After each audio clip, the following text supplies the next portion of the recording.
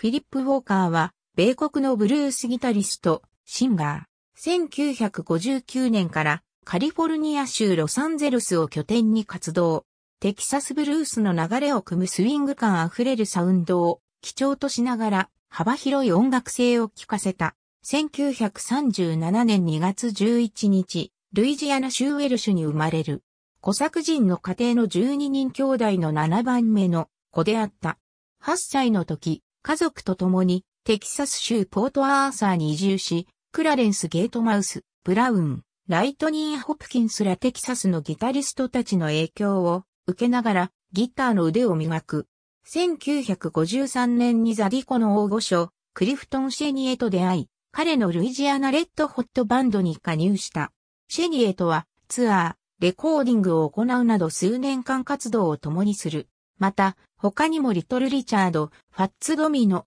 エタ・ジェームズら数多くのアーティストのバックでもプレイするようにもなった。1959年、ウォーカーはロサンゼルスに移住し、エルコレーベリより Hello My Darling でデビューした。この曲は彼の代表曲として知られるようになり、その後もウォーカーは何度かレコーディングをしている。60年代には、アイナ、ビー、ボップ・ビアトリスと出会い結婚。彼女とのデュオ、フィルビー、ボップとしても活動した。AAMC などのレーベルにソロ、デュオの双方でレコーディングを重ね、またエディ・テイラー、テディ・レノルズらのサイドマンとしてのレコーディングも経験している。しかしながら、彼がまとまった形の作品を作るようになるのは、70年代まで待たなければならない。60年代後半にプロデューサーのブルース・ブロムバーグと出会い、1973年に彼のプロデュースの下でレコーディングされた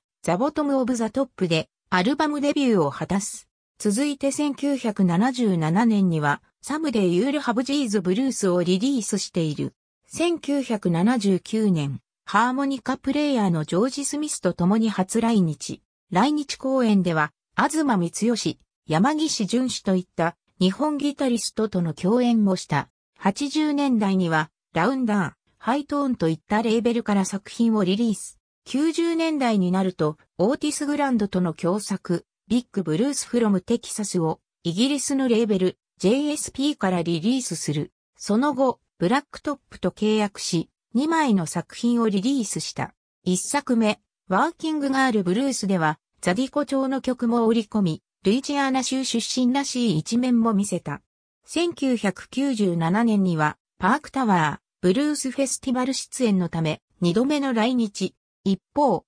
1999年には、ロニー・ブルックス、ロング・ジョン・ハンターと組み、ローンスター、シュートアウトの名義で、このメンバーでツアーも行った。2002年のライブ版に続き、2007年には、スタジオ録音作としては実に9年ぶりとなる、Going Back Home をデルタグルーブプロダクションズからリリース。